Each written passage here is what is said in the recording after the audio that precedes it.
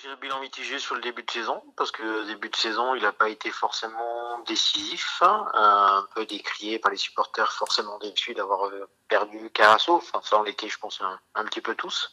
Mais voilà, sur pas décisif, pas euh, pas euh, leader, pas pas grand chose en fait au départ. Puis je pense qu'au fur et à mesure, il a pris il a pris sa place et il a justement eu ce positionnement de leader. Et surtout derrière, bah, il a été décisif. Je pense que niveau penalty, c'est un des, des, meilleurs gardiens. Ça nous a bien sauvé. Euh, j'ai encore en tête justement le, le match à Saint-Etienne pour, pour la fin de saison. Donc voilà, en gros, c'est mitigé, mais euh, ça n'a fait qu'évoluer et que finir en positif. Donc euh, au final, ben, est-ce que est-ce qu'il va pas nous faire oublier Carasso? Je pense que ça commence à le faire. On voit bien qu'il est là, qu'il est qu'il est dynamique, qu'on compte sur lui. on voit bien que même si j'ai focalisé sur les pénalties, il a fait d'autres arrêts décisifs aussi hein, mm. pendant pendant cet intermatch. Et puis on voit qu'il prend de l'envergure parce que il tient sa défense. Euh, on avait quand même des gros soucis de défense pendant pendant bien assez longtemps. Euh, là, ça tient la route et je pense qu'il est il est plutôt bien maintenant. Quoi.